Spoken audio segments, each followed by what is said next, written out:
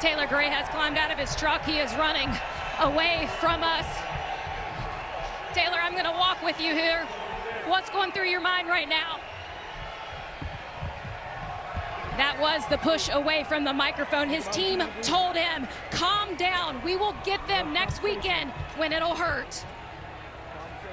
Yeah, that, that's the thing. You talk about him, Michael. You know, yeah, he didn't want to lose this race. He had the best truck. He dominated the race. But again, these, these drivers have memories. And now I think he's probably got the 17 of Taylor Gray and maybe the 99 of Ben Rhodes. Both upset at him would, a little bit? Yeah, I would guess so. And Take a deep breath. Take a deep breath. Yep.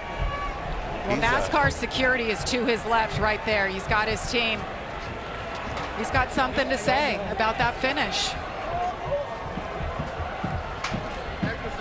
Taylor Gray on the outside. NASCAR 28 points behind. NASCAR security is walking with him, hoping he walks it off before they have to intervene. You hear him say, calm down. There's Bob Pockrass. I don't think it's working. I don't think he feels any differently now than he did when he got out of the truck.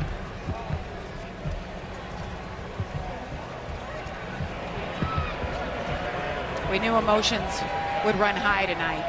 So much your whole season's on the line. Well, and you got to think also.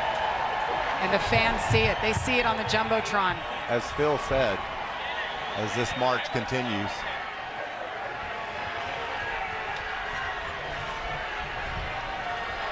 as Phil said, a second place finish with Ek from Eckes would have got him to Phoenix to race for a championship and not made enemies.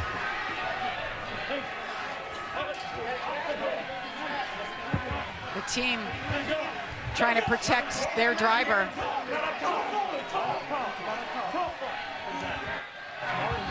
Don't fucking shit something in fucking fence. You him like I fucking did to you. I fucking barely got you off the bottom with tires. You know how many chances I had to shit you the fucking fence? Okay, be up next year. We apologize for that language. That's NASCAR. It's all access. The microphones are on. The emotions are running high. He just lost a shot at running for a championship.